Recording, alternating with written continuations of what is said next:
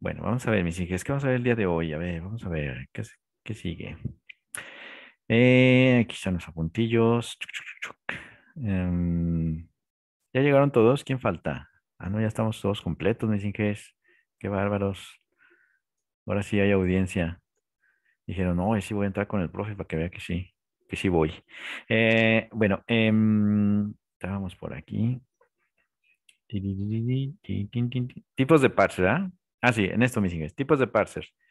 Ah, sí. ¿Alguna duda, mis inges? ¿Alguna duda? Creo que sigue compartiendo la otra pantalla, Inge. Ah, perdón, sí, tienes razón. Eh, con razón, mi Inge. Gracias. Ahí está.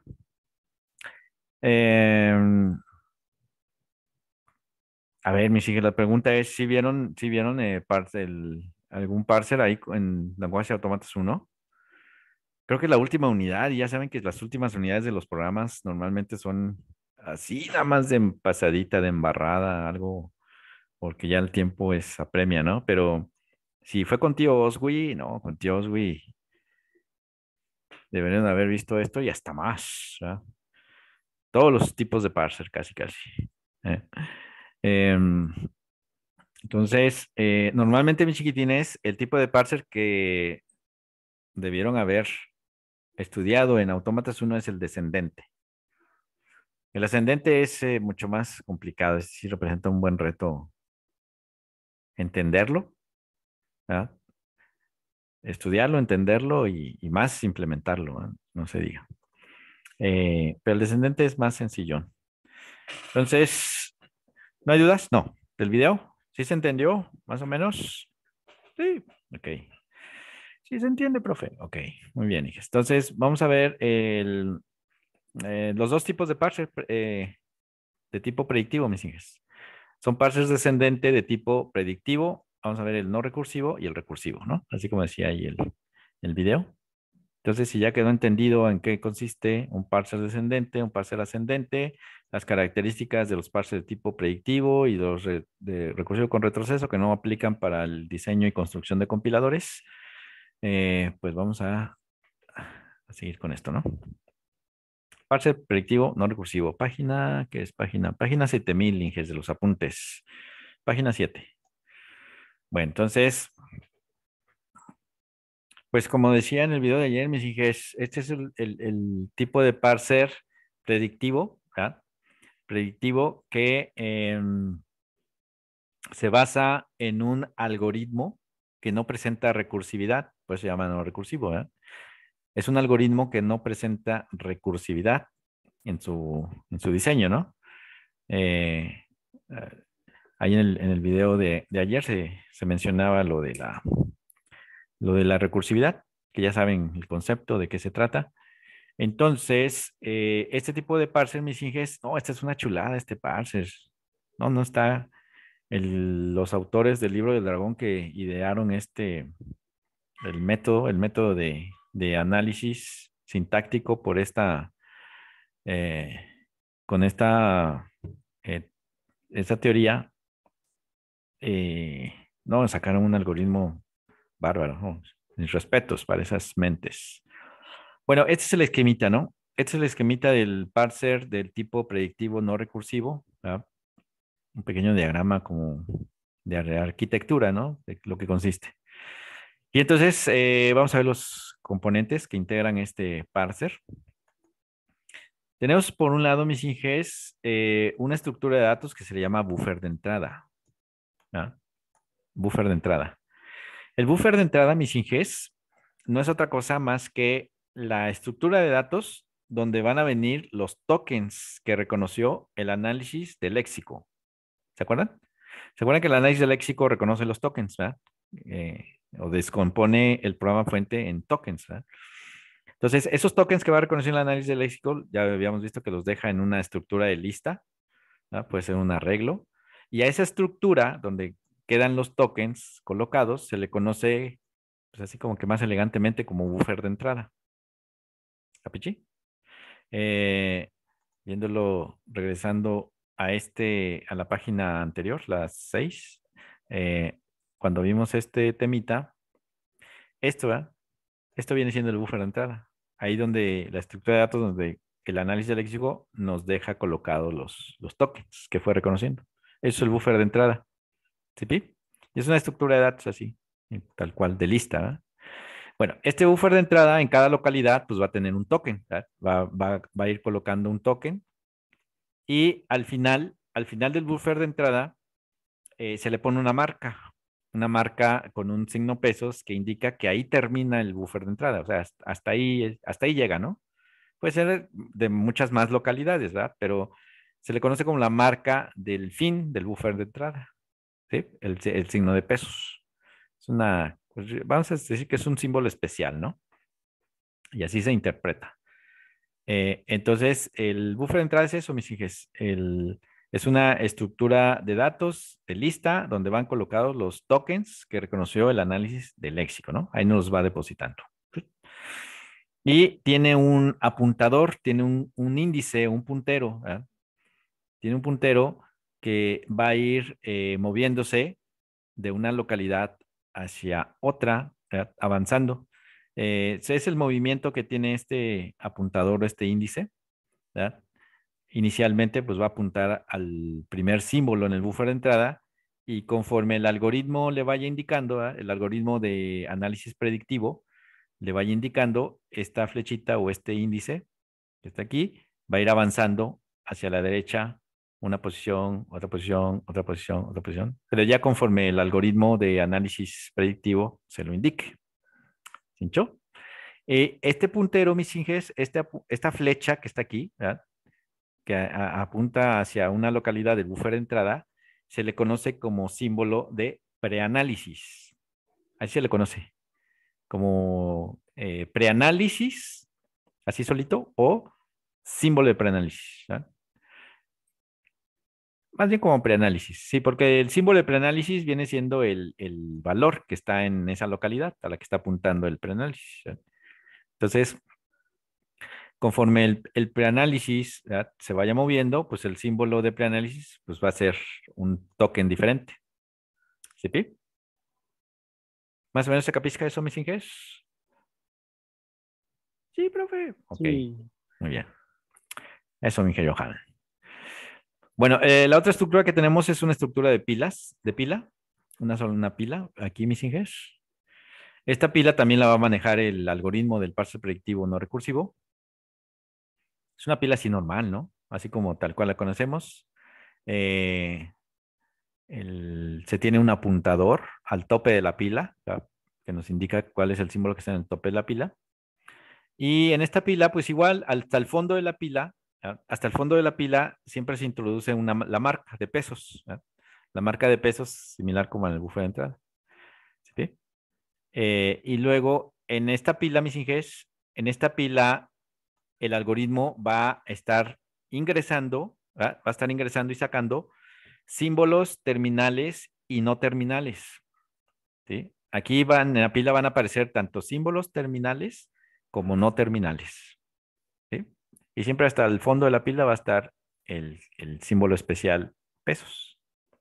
Ahí está el top, el, su, su, índice al tope de la pila o su puntero. ¿Ok?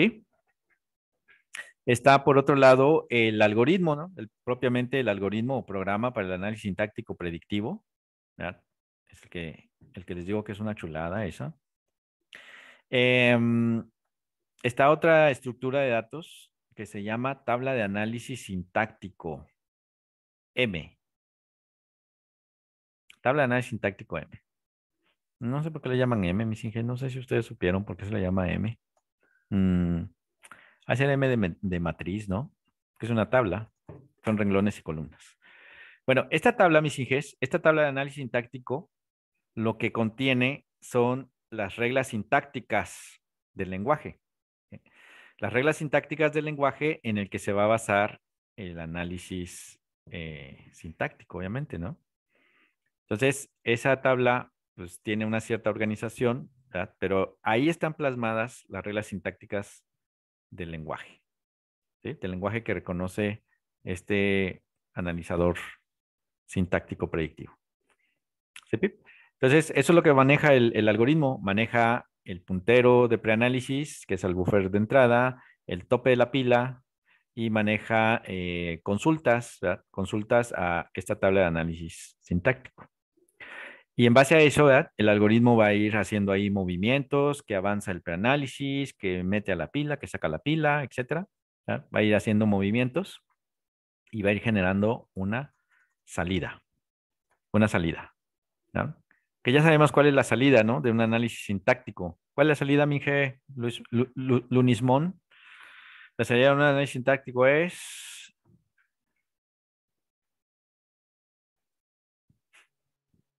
Eh, lo tengo en la punta de la lengua. Ahí está, ahí está, ahí está. Ya está a punto de salir, Mije. Mm. la salida de un análisis sintáctico. De la etapa del análisis sintáctico. Sale. El. El. Ah, ya, ya, va, bien. es, es, es, él.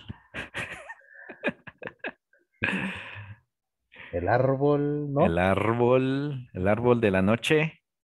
Triste. Triste, exactamente. No, no, creo que el árbol de la noche triste, Inge.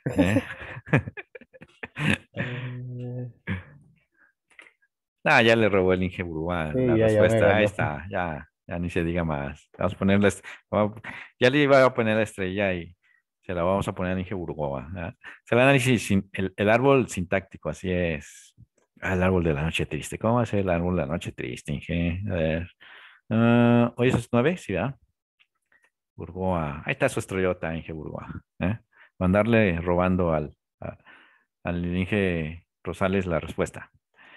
Bueno, em, entonces supone que la salida, mis hijos, en la salida de este algoritmo, pues deberíamos esperar el, árbol sintáctico, ¿no? Vamos a ver el árbol sintáctico formado. A ver, vamos a ver si es cierto. Bueno, em, entonces esos son los elementos que, integran un, un, parser de este tipo. ¿Sí? Eh, el análisis sintáctico mató a Hernán Cortés. Ahí lloró, ¿no? ¿Dónde lloró Hernán Cortés? En un árbol sintáctico, profe. ¿Ah? Ay, no, cada, cada cosa. Ah, aquí decimos, ¿cómo se llama la salida del análisis sintáctico? Es un árbol de la noche triste. Y a los niños de primaria, ¿dónde lloró Hernán Cortés? En un árbol sintáctico, profe. bueno, dice, eh, la tabla M, ¿verdad? Esta tabla de análisis sintáctico que mencionamos aquí, dice, la tabla M es de la forma M de XA. Es una estructura de filas y de columnas. M de XA, donde X es un símbolo no terminal. En las filas o en los renglones tenemos un no terminal y en la columna tenemos un terminal. Esto está fácil, ¿no? Filas tenemos no terminales, columnas tenemos terminales. Y entonces, en la intersección de un no terminal con un terminal, ahí en la tabla, en la intersección de la fila de un no terminal con un terminal, en esa celda o en esa localidad vamos a encontrar una reglita, una regla eh, sintáctica que, me va, que le va a decir al algoritmo qué es lo que tiene que hacer, qué movimiento tiene que hacer ahí en su, en su procesamiento. ¿Sí? Bien, entonces, eh, acuérdense bien, Enges, eh, ese, esa es la tabla, la estructura de la tabla de análisis sintáctico. Filas es un no terminal, columnas es un terminal. Un terminal, a ver mis hijas, ¿se acuerdan, ¿se acuerdan qué otro sinónimo tiene un, símbolo terminal? Tiene, un, tiene otros dos sinónimos, un símbolo terminal. ¿Alguien se acuerda, mis hijas? Al menos de un sinónimo que tiene símbolo terminal. También se le puede nombrar de otra forma, como sinónimo. ¿Alguien se acuerda? A ver, vamos a ver, a ver si, a ver si el Inge Burgoa se vuelve a robar aquí la respuesta. A ver si muy acá, muy le qué. ¿eh? ¿Qué otro sinónimo tiene el, un terminal o un símbolo terminal? Tiene dos sinónimos, pero a ver si me dicen uno. Es más, aquí lo voy a poner, mis hijas. Les voy a ayudar para que vean, que vean que no soy gacho. Eh, un símbolo terminal también se le conoce, es igual, ¿no? Lo mismo. A. No. Ande, mis ingenieros, ande. Empieza con T. Ahí está, un token, así es. Un símbolo terminal es sinónimo de un token y es sinónimo, exacto, de un componente léxico. Ahí está. ¿Sí? Acuérdense, mis hijos, ¿eh? Que no se les pase. Otra estrellota en Ingeburgo. Ah, caray. ¿Cuántos días llevará el Ingeburgo? Uh, ahí está. Muy bien. Acuérdense de eso, ¿eh?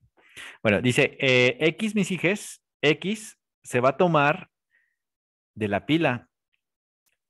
X va a ser el símbolo en el tope de la pila o en la cima de la pila. ¿sí? O sea, este siempre se va a tomar como el valor de X. Y A es el símbolo en curso de la entrada. O sea, es el preanálisis. O sea que A va a ser el símbolo al que apunta el preanálisis. De ahí se va a tomar el símbolo no terminal del tope de la pila y el símbolo terminal que viene en el buffer de entrada, que esté apuntado por el preanálisis. De ahí se toman esos dos símbolos y con esos se consulta la tablita M, ¿verdad? Porque con el símbolo, con un no terminal y un terminal, vamos a ir a la tablita M y ver qué hay en esa localidad o en esa celda. Y bueno, ya el, algoritmo va a tomar esa, esa, ese contenido de esa celda para hacer allí su, su movimiento. Pero ese es el, secreto, ¿no? Eh, el mecanismo de funcionamiento del parser predictivo eh, no recursivo se basa en el símbolo que está en el tope de la pila y el símbolo que está en el preanálisis. ¿Sí? Esos dos. ¿Capichi? Bueno, vamos a verlo más a detalle, mis hijas. Bueno, de ahí dice que puede haber tres casos, mis chiquitines. Se pueden dar tres casos eh, dependiendo del valor que hay en X y en A, o el valor que toma X y A. O sea, el símbolo que está en el tope de la pila y el símbolo del preanálisis, ¿sí? Pueden dar, se pueden dar tres casos, ¿verdad? Se pueden dar tres casos. A ver, vamos a ver el primer caso, fíjense bien, ¿eh? Dice, si X, o sea, si el símbolo que está en el tope de la pila es igual a A, que es el símbolo de preanálisis, ¿sí? Al que está apuntando el preanálisis, y es igual a pesos, o sea, hace que si lo que está en el tope de la pila es pesos y en lo que está en el preanálisis es pesos, ¿sí? Si estas flechas estuvieran apuntando a, esos símbolos, entonces ahí se termina el algoritmo y se declara éxito del análisis. O sea que el análisis sintáctico se realizó correctamente. ¿Sí? Entonces, esa es la condición de finalización. Em, pesos en el tope de la pila y pesos en el preanálisis fin del algoritmo y se dice que el programa está, o la entrada, ¿no? La entrada eh, que viene aquí, el orden en que vienen los tokens, es sintácticamente correcto. Está fácil, ¿no? Ese es el primer caso, es el más, más sencillón. Bueno, ese es, uno. Luego, segundo caso. Si hay alguna duda, me dicen, ¿eh, mis inges? Ahí, ahí prenden su micrófono y, eh, profe, no, no lo entendí. Vuélvalo a explicar, órale, a eso le pagan. ¿eh? Eh, vamos con el segundo caso. Dice, si X es igual a A, es el mismo símbolo, pero es diferente de pesos. Si X es igual a A y es diferente de pesos. Entonces, si el tope de la pila es el mismo símbolo que está en el preanálisis, y no es pesos, porque es la primera condición del caso 1. Fíjense bien, mis ingenieros, en esta condición, ¿eh? Si X es igual a A, ¿verdad? Si X es igual a A, fíjense bien, mis ingenieros, ahí les va, ¿eh? En el buffer de entrada, mis ingenieros, en el buffer de entrada, hemos dicho que ahí vienen los tokens, ¿verdad? Vienen los tokens. Y ya dijimos que un token es un símbolo terminal. O sea que en el buffer de entrada solo vienen símbolos terminales de la gramática. Aquí solo vienen colocados en el buffer de entrada puro símbolo terminal. o token. ¿sí? Entonces, si el segundo caso indica que X sea igual a A, implica que el tope de la pila es un símbolo terminal. ¿sí? Eh, acuérdense que les acabo de decir que en la pila voy a encontrar símbolos tanto terminales como no terminales. Entonces, se puede dar el caso que en el tope de la pila esté un terminal y ese símbolo terminal empate con el token que está en el preanálisis, o sea, que, sean iguales, que sean igualitos. Entonces, si es ese caso, si es ese caso, lo que se hace es sacar a X del tope de la pila, se extrae y se mueve el apuntador de la entrada, o sea, el preanálisis, al siguiente símbolo. Está padre ese movimiento, ¿no? Entonces, si el tope de la pila empata con el de preanálisis, o sea, que sean el mismo, es un terminal con terminal, terminal con terminal, entonces se extrae, se extrae ese, ese símbolo del tope de la pila y obviamente va a quedar un, un nuevo tope, ¿no? Va a quedar un nuevo símbolo en el tope de la pila. Y el de preanálisis, el puntero del preanálisis se avanza una posición hacia el siguiente símbolo. Hacia el siguiente símbolo. Eh, no lo puedo iluminar aquí, señala. Bueno, pues aquí, si estaba en el A, pues avanza hacia el más. Es el movimiento que va a realizar el algoritmo si se da ese caso. También está fácil, ¿no? También está fácil. Sí, se ve, sí, se comprende. ¿Sí, Inge? Eso, Inge, muy bien. Aquí el 3 está más difícil, Inge Johan, ahí no va a decir lo mismo, ¿eh? ah, está fácil también. Fíjense, mis hijas, ahí va. Caso 3, ¿eh? Dice, si X es un no terminal, ¿ya? si X es un no terminal, aquí el que está en el tope de la pila, ¿sí? si en el tope de la pila tengo un no terminal, obviamente voy a tener la combinación de un no terminal en el tope de la pila con un terminal, o un token aquí en el, en el, en el buffer de entrada.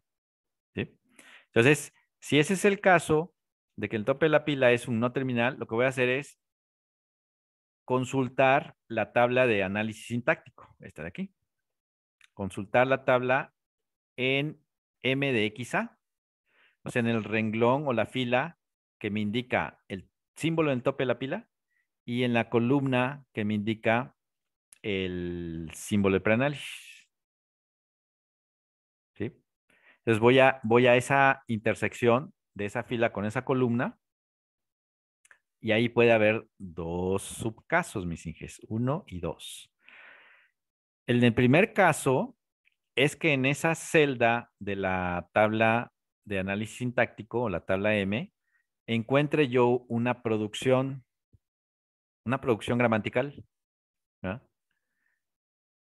O bien encuentre yo la marca de error.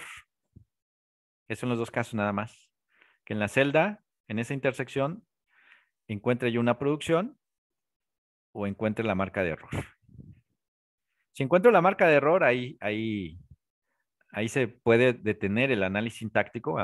Podría detenerse ahí el análisis sintáctico y reportar el error trasladarlo al manejador de errores para que se encargue de informar al, usuario de cuál es el error sintáctico que detectó. ¿Sí? Pero si hay una producción, que es en, este caso, si en, en esa localidad o en esa celda hay una producción, aquí está indicada la producción así en una forma generalizada, ¿no? Una producción que sea de la forma X que produce UVM. ¿sí? X viene siendo el símbolo no terminal, que es con el que se consultó la tabla M. Si hay una producción que me dice que X produce ¿sí? UVM. Aquí mis IGs U, V y M son, es una generalización de los símbolos que pueden estar en el lado derecho de una producción. En una producción yo puedo tener, eh, hay una sucesión de símbolos, ¿no? Terminales y no terminales. Bueno, aquí está expresado así en, forma generalizada. Que en el lado derecho tengo el símbolo U, tengo el símbolo V y el, tengo el, símbolo M. No importa si, son, si es terminal o no terminal. eh, está en forma generalizada. Pero entonces, si encuentro una producción, esto es lo que voy a hacer, ¿sí? Tengo que sustituir a X de la pila por MVU, que viene siendo el lado derecho de la producción, pero en orden inverso, de derecha a izquierda. En ese orden se van a meter a la pila. Entonces se saca X de la pila, se extrae, y en su lugar se introduce M, que es el, el, símbolo de más a la derecha, y luego la V, y finalmente la U, de manera que en el tope de la pila va a quedar la U. ¿Sí? El símbolo que esté eh, al inicio, ¿no? El símbolo que sea al, inicio. Les digo que este es, eh, puede ser un símbolo terminal o un no terminal, ¿no?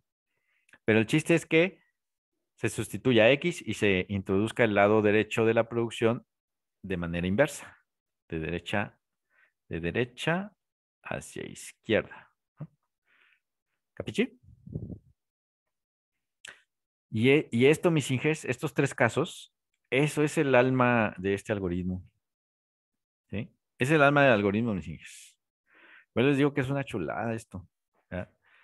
Nada más con que se aprenda uno los tres casos del, del, análisis predictivo, no recursivo, ya con eso uno entiende el, el mecanismo de funcionamiento.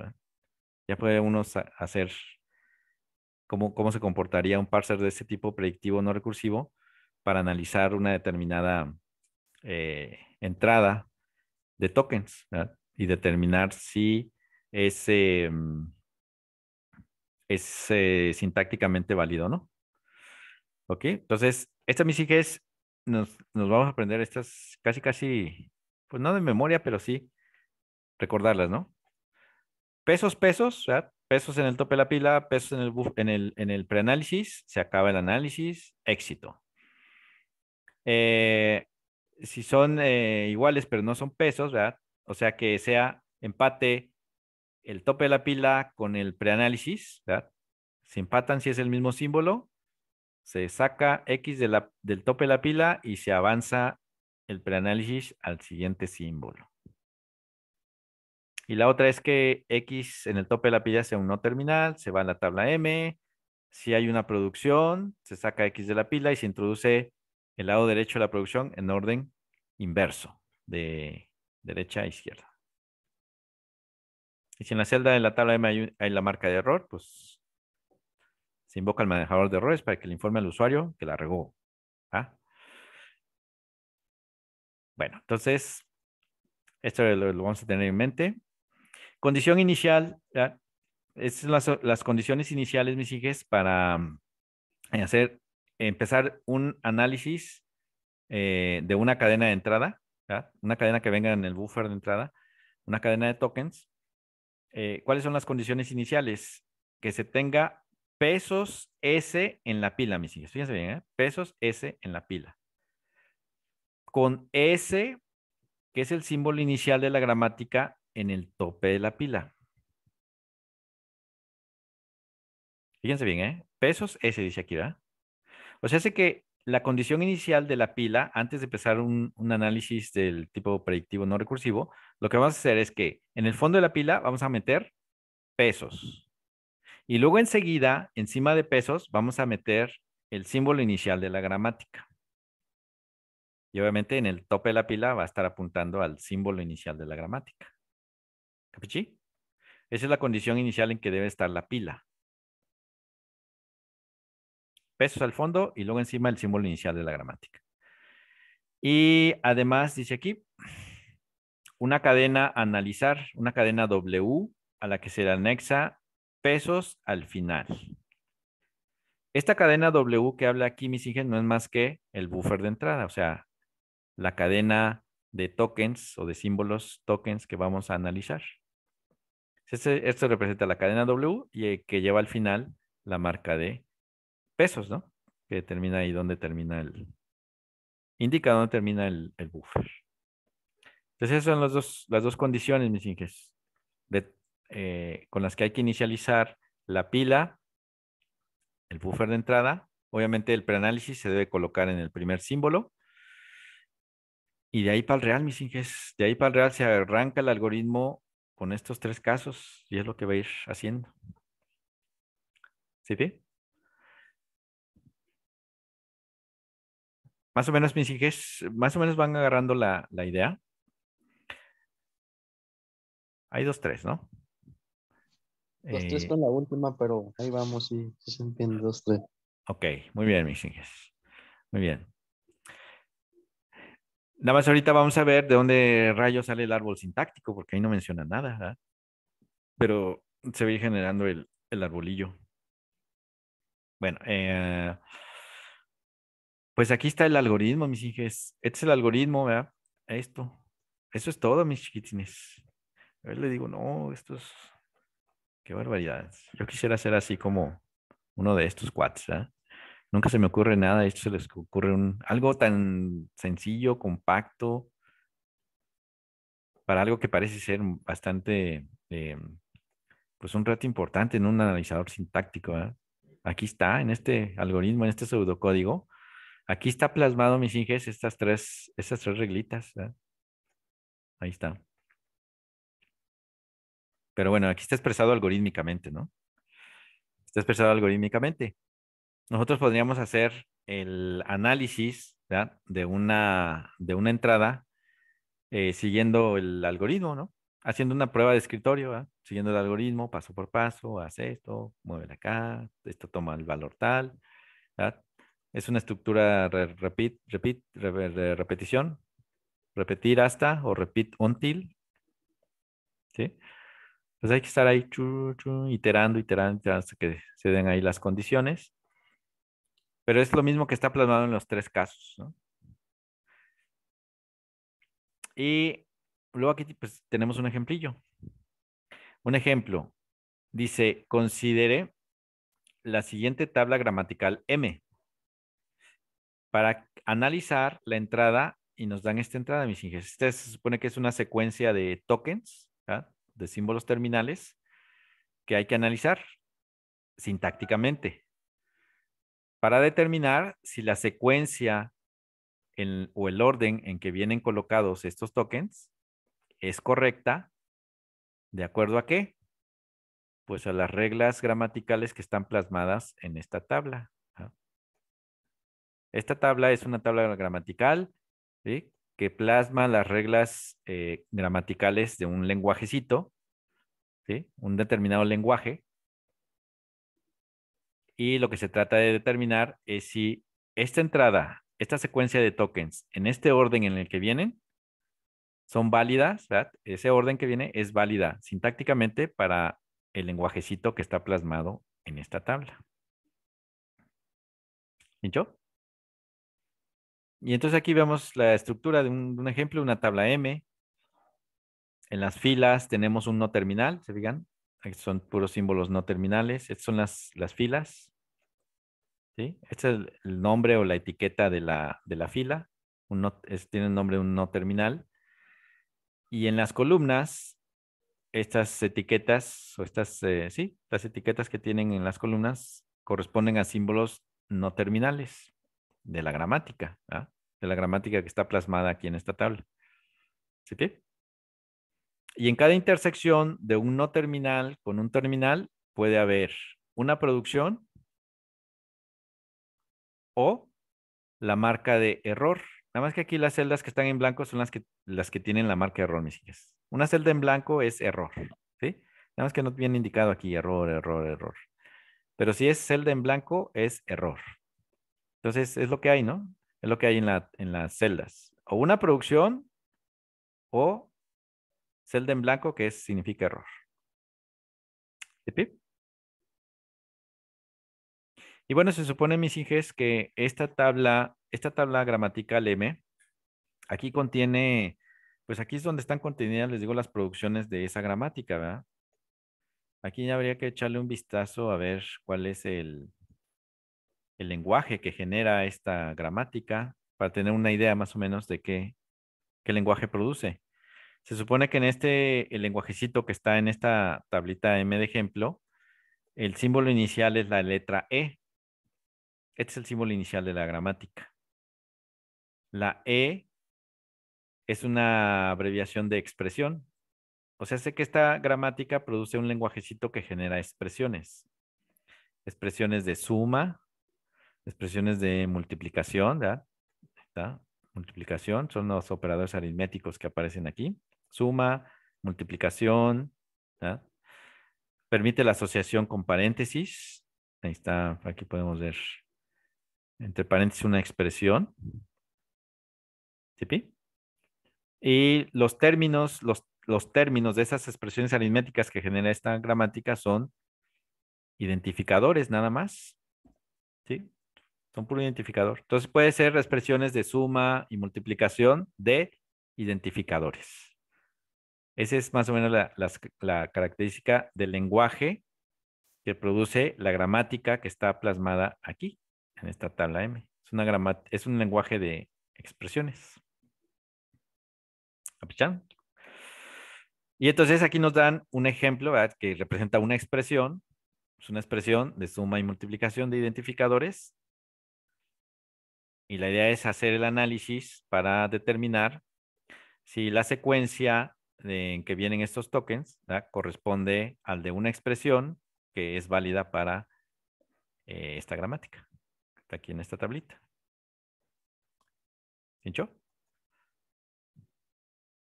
Y entonces, el, el- en este, mm, eh, esta tabla, mis hijas, este que viene aquí, es todo el desarrollo del, del análisis que va, que se hace con, con el algoritmo. Con el algoritmo del parser predictivo no recursivo. ¿Cómo vamos a estar? Vamos a tener el estado de la pila, el estado del buffer de entrada y lo que nos va a ir produciendo el algoritmo en la salida. Esta pila, mis chiquitines, es una pila que está acostada. Está así horizontal. No está, no está, no está viendo para arriba. Ah, Imagínense que está acostada, ¿no? O sea que va a ir creciendo hacia la derecha. El fondo de la pila va a estar aquí en- del lado izquierdo y el tope de la pila pues va a ser el símbolo que esté más a la extrema derecha. Así es que la condición inicial de la pila es pesos en el fondo de la pila y el símbolo inicial de la gramática, que en este caso es E de expresión, en el tope de la pila. ¿eh? Esa es la condición inicial. ¿Se acuerdan? Y en la entrada, que es el buffer, el buffer de entrada, tendríamos los tokens que vamos a analizar, ID más ID por ID, ID más ID por ID, y la marca de pesos, que es la marca de final del buffer. ¿no? Esa es, esa es la condición del buffer de entrada. Obviamente, el símbolo de preanálisis va a estar colocado sobre el primer símbolo en el buffer, en este ID, aquí. ¿Simón? Y, y eso representa pues el, el- bueno, eh, este, este estado de la pila y este estado del buffer de entrada, eso representa la condición inicial para empezar a hacer el análisis. ¿Simón? Y bueno, eh, pues aquí viene desarrollado todos los movimientos, pero eso lo vemos mañana, ¿no, mis hijas? Mañana hacemos el, el desarrollo de este y hacemos un ejercicio también, algo más parecido usando esta misma tabla, pero con otra, otra, eh, otra expresión, ¿no? Otra, otra, sí, pues, otra expresión para, para que amarre, ¿no? Pero mañana explicamos esta tabla, cómo, cómo va a ir funcionando. Pero sí, los tres casos hay que tenerlos en mente, ¿no? Los tres casos que, eh, que dijimos que se basa el algoritmo, estos. Porque nada más con eso nos vamos a, ir mañana, mis hijas. No, ni siquiera vamos a usar este al algoritmo, no lo vamos a hacer así como prueba de escritorio. Nada más acordando. Ah, el caso 1, no, es el caso 2, no, es el caso 3, ¿ah? Se hace esto, se hace aquello. ¿Sí? Y, y vemos, y vemos cómo está eh, la interpretación de la salida. ¿Sale, vale? No, bien, Ok, sí. sí. No, no, no llegaron a ver este, este parser, mis inges, con, en Autómatas 1. A ver, mis inges, no sean malos, levanten la manota, ¿no? Levanten la manota los que se acuerdan que sí vieron algo así en Autómatas. Ay, caray, sí me acuerdo que algo vimos. Por de uno, por dos, por dos, por tres. Ok. Por cuatro. un pollito. ¿eh? un pollito del América. Ok. Pues casi por cinco, ¿no? Ok, cinco. Bueno. Bueno, mañana echamos un repaso, ¿no, mis hijas? Para ver qué tal. Los que lo vieron, pues ahí más o menos se van a acordar, terminar de acordar bien. Los que no lo vieron, bueno, pues ya, ya lo, ya lo conocen, ¿no? Sí, yo me lo tuve que aprender para pasar el semestre. Qué bárbaro, Inge Brian. ¿eh? Eh, Arlet dice que no se acuerda. Eh, el Inge Won dice que solo recuerdo al Inge Oswi gritar. es que lo hacen enojar, Inge. Ya no lo van a enojar, tío Oswi. Por eso tiene que andar fumando tanto. Si cada vez que está fumando cigarros porque lo estresaron. ¿eh? Hay que cuidarlo, que nos dure. ¿eh? Vamos a pasar lista, mis hijas. Es que dice, no importa cuándo leas esto, siempre es igual. Pase de lista, ahí va. Ah, pongan su presencia, mis hijas. Nos vemos mañana, ¿no, mis hijas? Pasen buena tarde, noche. Vámonos.